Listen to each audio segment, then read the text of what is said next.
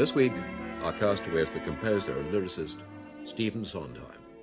Mr. Sondheim, how important have records been in your life? Very. I've been I've been collecting records since I was 17. I have an enormous collection, mostly 20th and 19th century music, mm-hmm. and I particularly like obscure stuff. Did you find it hard to, to narrow your choice down to eight? Oh, very hard. I, I decided to pick the pieces that would I think last me the longest, and I decided to be honest. So I've I've made a fairly plebeian list. Right. What's the first one? Well, the first one is, uh, I suppose, the composer who's most influenced me, namely Ravel. I'm a fan of French music and a fan of his, and one of the pieces I like best, partly because I played it on the piano, is the Valse Noble Sentimentale, particularly the seventh one, because it's the most fun to play. And who's to play it? Uh, well, this is the orchestral version. This is done by Anne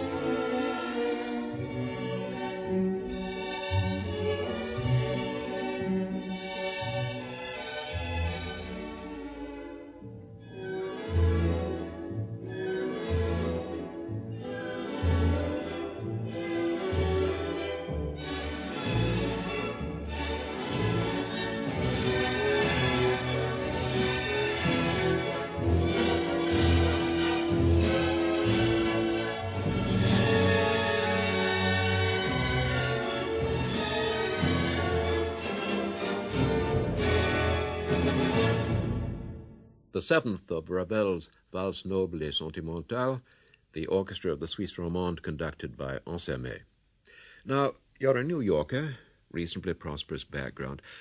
How much musical influence was there in your home?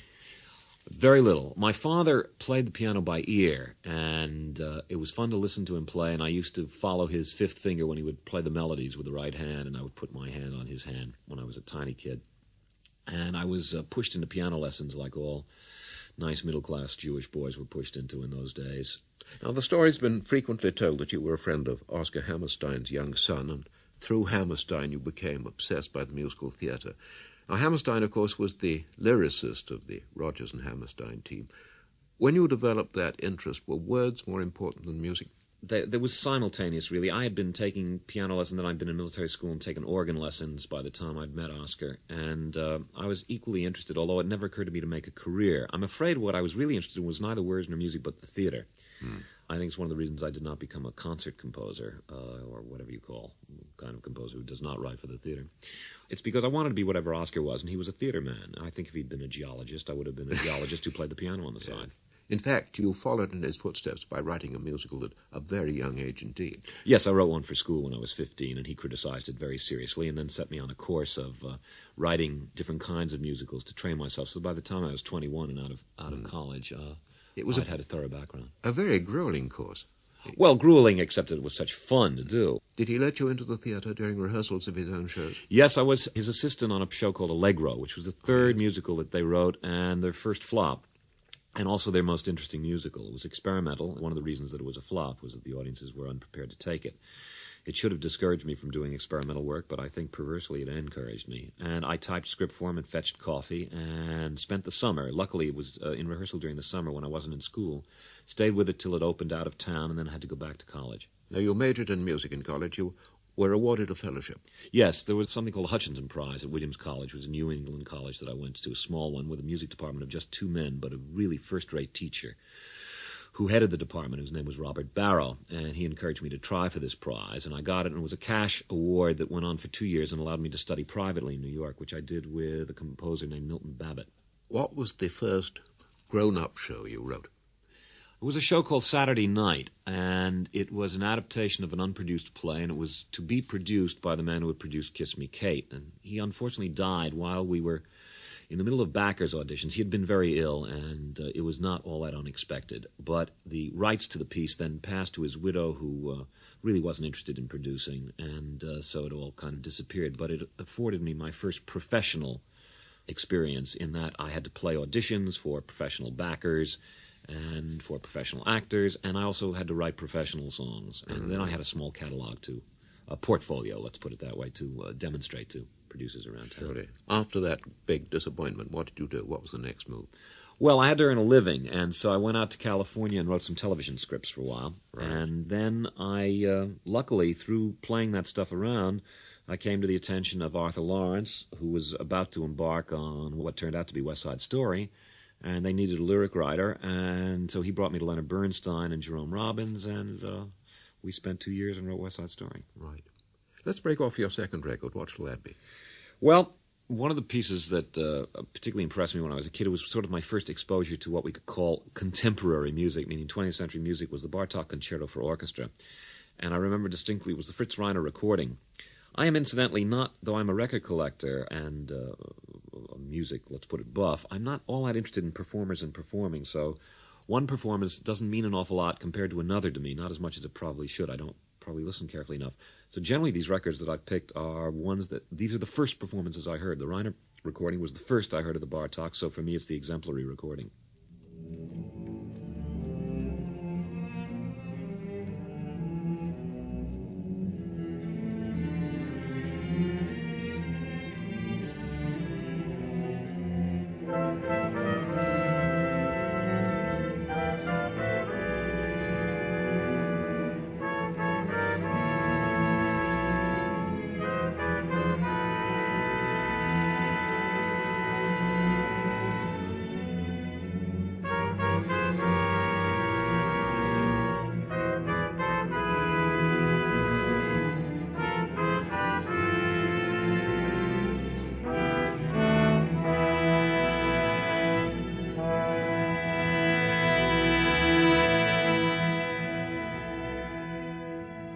Excerpt from the Bartok Concerto for Orchestra, Fritz Reiner conducting the Pittsburgh Symphony Orchestra. Right, West Side Story. Now, this proposition was for a musical based on Romeo and Juliet, Leonard Bernstein's music, your lyrics, a Puerto Rican setting. Did you do any research into the way Puerto Ricans live? No, not at all. As a matter of fact, the only research done on that show was done by Jerome Robbins, who went to a gang dance. And this shows the, the, the foolishness, or often the foolishness, of doing research. And he picked up a specific from the gang dance that he thought would be very effective on the stage, namely that they all accepted roses from the girls at the dance, which they put into the cuffs of their pants. So Jerry thought this would be wonderfully effective on the stage, which theoretically it was until dress rehearsal, when they all started doing his choreography, and the stage was awash with flying roses, with thorns cutting people right and left, and, and trampled flowers all over the stage. That went out with the dress rehearsal, and that was the one note of authenticity in the piece. We also knew that Arthur and I, Arthur Laurents, who wrote the libretto, that the language that we would write, if we did any research, Argot, as you know, dates very quickly, and by the time the show got on, it would already be old fashioned. So we made up our own street language. Mm-hmm. And the only researched street language that we did were words that were in kind of common currency that one knew would stay around for a while, like the word "cool," which still exists because it was a jazz term and not a not a, a particular street gang term. Uh, otherwise, uh, Arthur uh, uh and I, uh, particularly Arthur, made up most of the language. In spite of which, it was a Verismo musical. Yeah, it was a Verismo musical, but I think one of the ways of making Verismo is to make your own. Surely and a big success. Now, your next show was also as a lyricist to Jule Styne's music in Gypsy. Neither of those shows were as successful as movies. What, what are your views on that? Why, why was that? West Side was much more successful as a movie than it was as a show. Was it? Oh, yes. It only ran for about a year and a half in New York. And the last uh, six months were on what we call twofers, two tickets for the price of one. It was, uh, for the most part, very well received by the critics, though it won no awards. It didn't win the Tony Award or anything like that. It was considered much too sort of. Uh, unpleasant and avant-garde to be popular musical theater and was sneered at by most of the Broadway community and by most of the audiences too. But the movie was enormously successful. Gypsy is the reverse. Gypsy was quite successful, although not as successful as it should have been. Considering the reviews, which were superb, it didn't run as long as one might have expected, partly because the subject struck people as unpleasant. Uh, the movie was not a success at all. I think movie musicals are, uh, at best, very shaky propositions. I think a musical for a movie has to be written for film. It should not be an adaptation of a stage piece. Yes. There's such different languages, and um, what holds one's attention through stage convention simply is uh, boring in, on, on, on film, I think. Did you work closely on the films? No, I did some rewriting for the lyrics of West Side Story and hung around shooting for about a week when they were shooting in New York, but otherwise, no. You had had a spell in, in, in Hollywood working on, on television. Yeah, just television, yeah, but that's quite a different proposition. Mm-hmm. Your third record, what shall we have? Well, let's move into the area I'm particularly interested in, which is musicals. Um, if there's one American musical that, that has any chance, I think, of lasting more than a generation or so, it surely is Porgy and Bess, which I think is a first-rate work of art on every given count and a deeply moving piece. And um, rather than take one of the more familiar pieces of it, why don't we listen to a little bit of the trio near the end of the last act?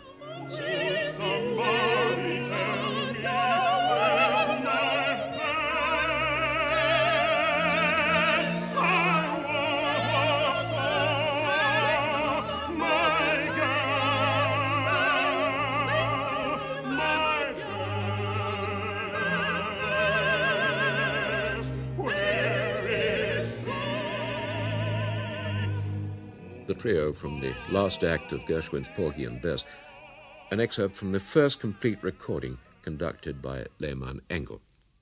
Now, your first show with your words and music, uh, a funny thing happened on the way to the forum. It was a fairly knockabout sort of show. There was an aura of burlesque about it, but your music and lyrics were much more sophisticated somehow than the show. Was that deliberate? no, playing... it wasn't deliberate, and the show is much more sophisticated than it seems. It is a very, very carefully written book. It is, in my opinion, the best farce ever written, and I include Feydeau's. It is much better plotted than Feydeau's farces. It is written very elegantly. Its feeling is that it was written over a weekend and just s- slapped onto a stage. Any actor who's ever worked in it comes away with enormous admiration for it. Unfortunately, I was writing more of a salon score than I was a low comedy score. And I think I was influenced by the elegance of the script rather than by its essential low comedy. The result is that the score and the book don't quite match. The score is, as I say, a little a little more salon y than uh, than the book is. Your, your lyrics are, to say the least, ingenious and very complicated rhyming schemes. This seems to match up with a hobby of yours, puzzles you collect puzzles. You like working on puzzles. Well, I do. That's been uh, grossly exaggerated. I don't do it very much anymore. I subscribed for years and still do to the listener and uh, enjoyed doing the puzzles a lot up until a few years ago when I thought I can't spend the rest of my time solving listener puzzles. You did, in fact, invent puzzles. You did the crossword puzzles for a magazine for quite a while. Yes, a magazine was founded in New York called New York Magazine in 1968, and they asked me to contribute a puzzle page. So I did one based on the listener puzzles, which I love because they each have a gimmick or a design. Some I invented entirely whole cloth myself for about a year and a half, and then I uh, had to work on Company, which is a musical that I wrote in 1969. Mm-hmm. So I stopped doing it, and I used to collect them. I still collect puzzle books, but I don't do them very often. Well, back to the theatre and back to your next show. Back, unfortunately, to a flop, your only real flop. Anyone can whistle. It's nice of you to say it's my only real flop, but that's not true. It's the shortest run, but uh, I've had a number of flops. Then, for do I Hear a Waltz? You collaborated with the old master Richard Rodgers. Was he good to work with? It was difficult. Um, it was partly my closeness with Hammerstein. In a curious way, got in the way. The reason I did the show was Hammerstein, when he was dying, asked me if uh, he said that uh, Rodgers was going to feel very partnerless for a while, and if anything came up, he knew how much I didn't want to write just lyrics ever again. But he would uh, he, he would greatly appreciate. That's not the word he used, but that was the sentiment, certainly, if I would give a second consideration. Well, of course, I admire Rodgers' stuff enormously, and to work with a man like that was a privilege, and I thought I could learn something.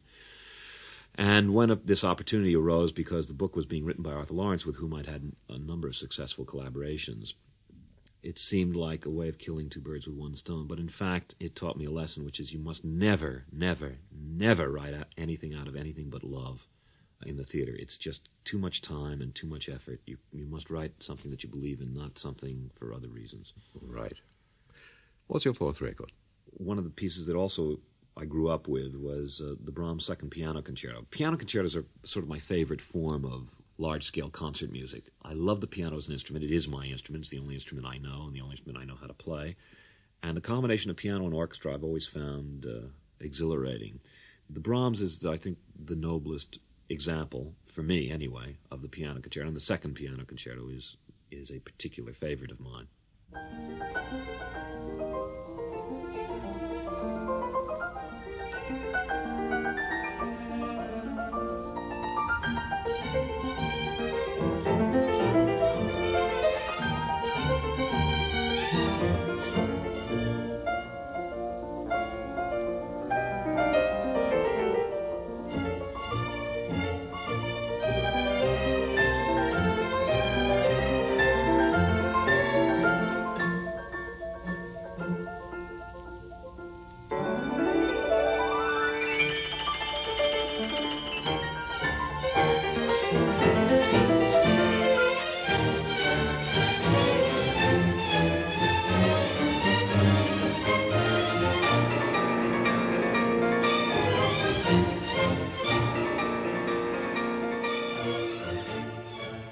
Opening of the last movement of the Brahms Second Piano Concerto, Horowitz with the NBC Symphony Orchestra conducted by Arturo Toscanini.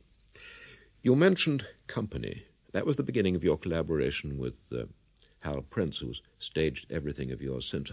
Where did you meet him? How did that association Well, that wasn't start? the beginning of our collaboration. That was the beginning of our collaboration with him as a director and me as a writer. Uh, we had done uh, West Side Story, which he produced, Forum, which he had produced. So it was not the beginning of our collaboration, so to speak. But it was certainly the closest we had worked together. And of course, it's a different kind of collaboration when, when he's a director than when he's a producer. We uh, we had met uh, opening night of South Pacific, but I didn't really get to know him till he'd gotten out of the army and was stage managing a show called Wonderful Town. And then we became friends. Yeah. And um, we always talked of working together, but in those days, uh, nobody knew that he really wanted to be a director, or a, a writer, in fact, I think is what he wanted to be. And uh, he was just this successful producer, uh, as far as everybody knew.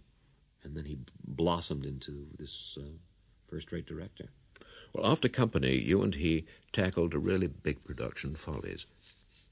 The music in that mainly pastiche writing, the, the great no, fun was, of it was writing. partly pastiche. Uh, It was about 50% at the most pastiche and 50% not pastiche. It's very important because it dealt with two worlds the emotions of the people involved and the world that they'd come from, namely show business. Excuse me for interrupting, but I, Please. It, it, it is only partly pastiche. which must have been great fun to, to, to work in the style of Gershwin. Oh yes, I, I was able to express my admiration for all the composers of musical theater I've been brought up on, from Cole Porter to Gershwin to Rodgers to DeSylva Brown and Henderson, and Kern particularly.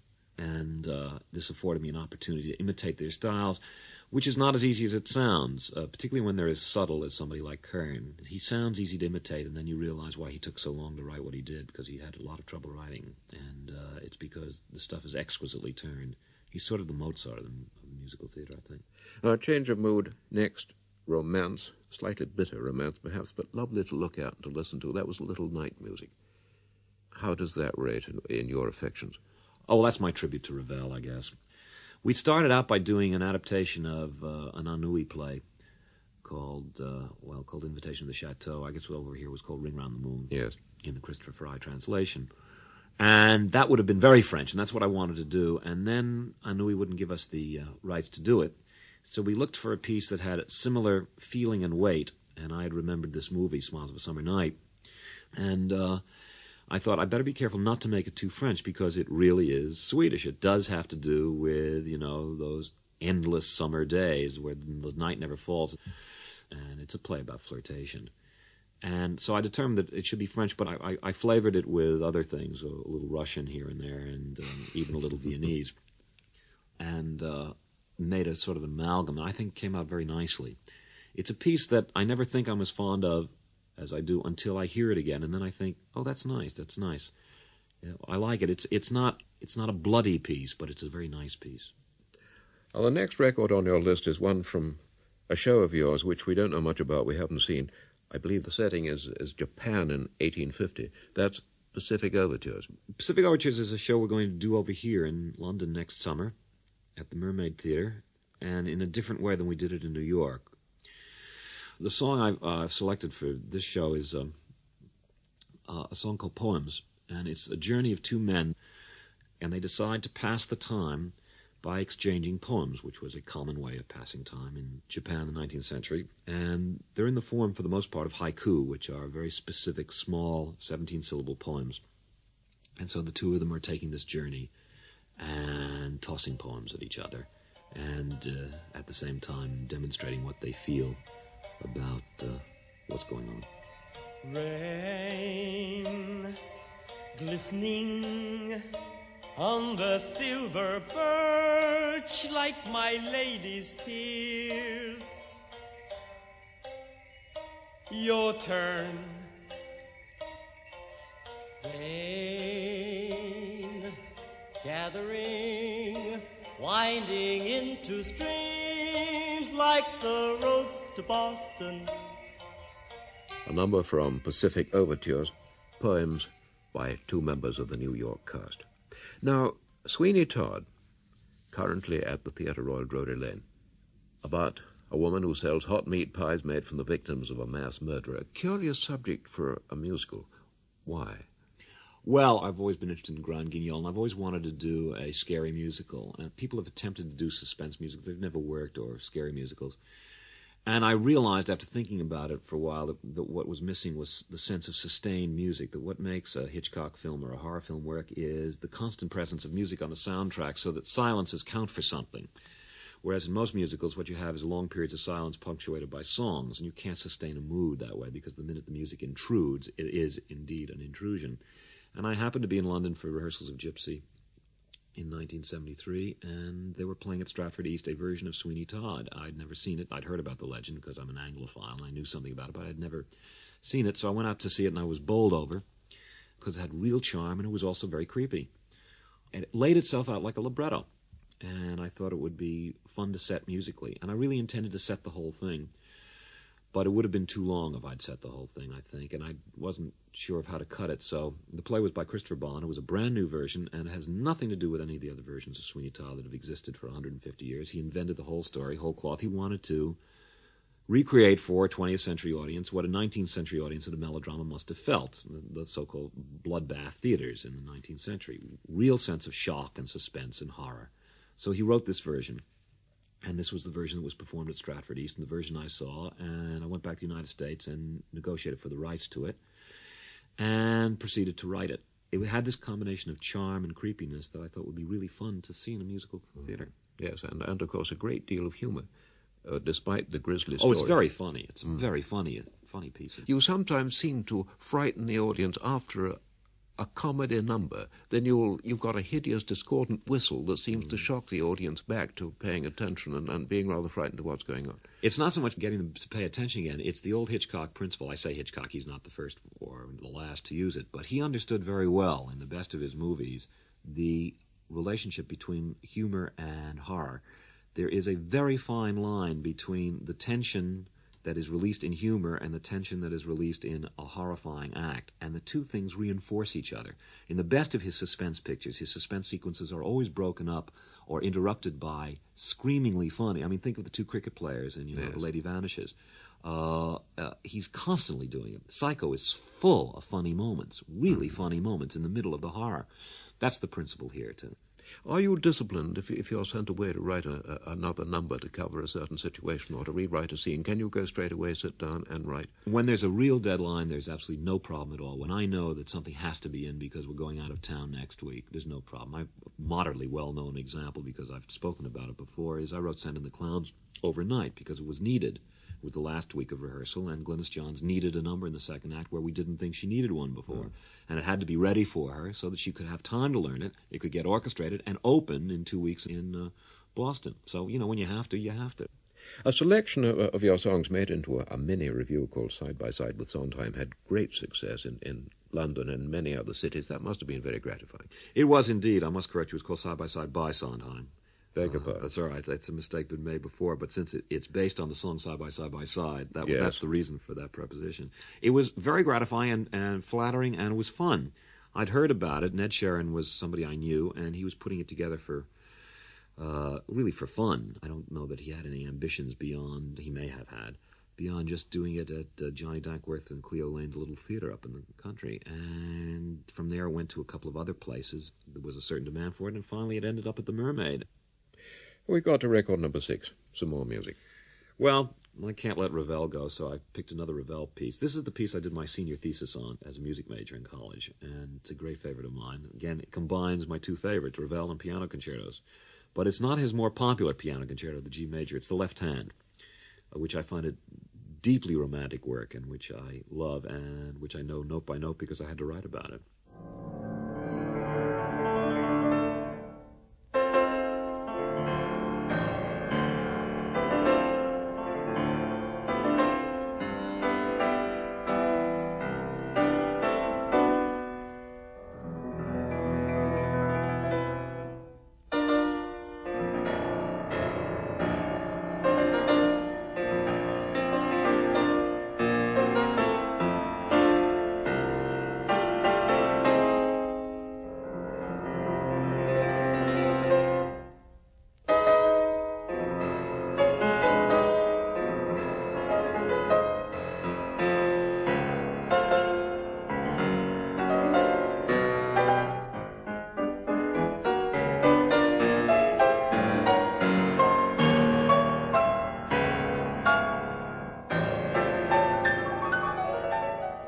Excerpt from Ravel's Piano Concerto for the Left Hand, Robert Casadesus with the Philadelphia Orchestra conducted by Eugene Ormandy.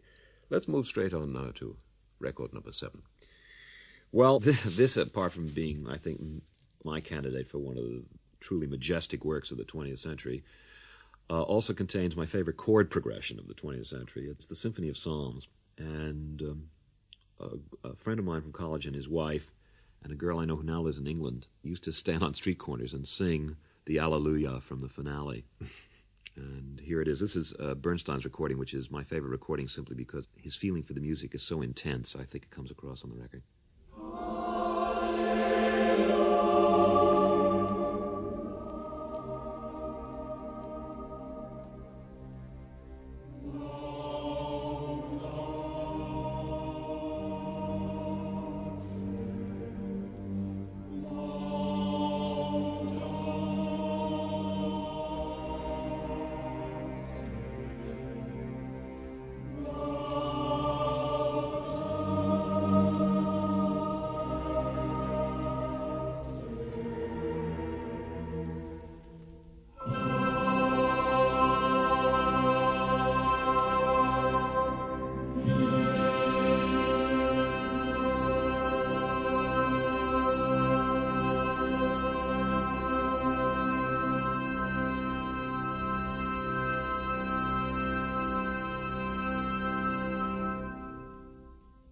Finale of the Stravinsky Symphony of Psalms, Leonard Bernstein with the English Bach Festival Chorus and the London Symphony Orchestra. Now, you're on this desert island, Mr. Sondheim. Are you a practical man? Have you got any ideas for rigging up shelter, for looking after yourself? No, I'm not a practical man. I would probably complain a lot to myself and then finally figure out a way to do it. But uh, I'm not sure that I would succeed. I'm not sure. I'm sure I would survive the, after the first rainstorm. Have you done any fishing or cultivating or any of those outdoor hobbies? No, I've never, uh, not since I was a kid. I'm strictly a New York boy, and I'm used to turning on a faucet and getting hot water running out. And mm-hmm. I really, I don't think I'd be very good in a survival situation. No experience with small craft, no navigation, no, none, none, of that. None, none, none, none. I don't even know where the North Star is. We shall worry about you. Well, let's hope it doesn't happen. Your last record.